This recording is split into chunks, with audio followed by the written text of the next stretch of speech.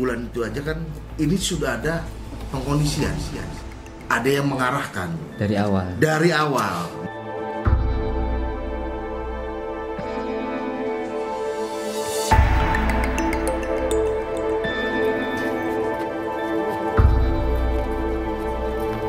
Teman Eki dan Vina, Liga Akbar, yang juga menjadi saksi kunci kasus pembunuhan, mencabut berita acara pemeriksaan yang pernah ia buat 8 tahun silam.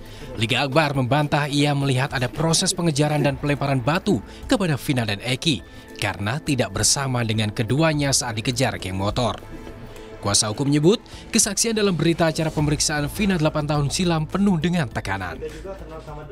Karena liga kan yang sebagai pelak, sebagai yang memberikan keterangan adanya pelemparan adanya uh, apa namanya uh, diteriaki, dikejar itu keterangan kan dari Liga Akbar. Bukan AF, bukan. Itu. AF sih kan katanya dari jarak jauh melihat ada yang dikejar. Nah makanya ini menjadi suatu pertanyaan ya AF ini keterangannya dari mana? Hmm.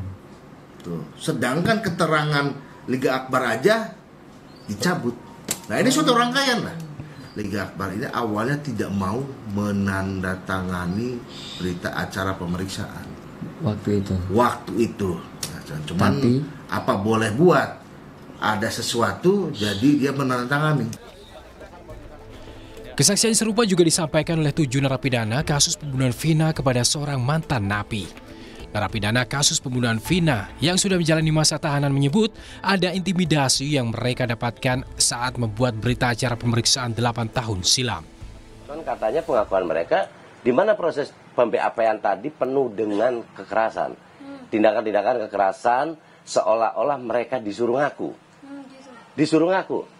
Beberapa minggu mungkin di Polresta kemudian para tersangka ya pasti tersangka dibawa ke Polda di Polda pun mendapat perlakuan yang sama. Jadi begitu berkas dilimpahkan ke Polda, dia dapatkan perlakuan yang sama pula. Sementara itu kuasa hukum Peggy yang disebut sebagai otak pembunuhan Vina dan Eki melihat ada kejanggalan dalam penangkapan Peggy hingga proses penyidikan kasus ini.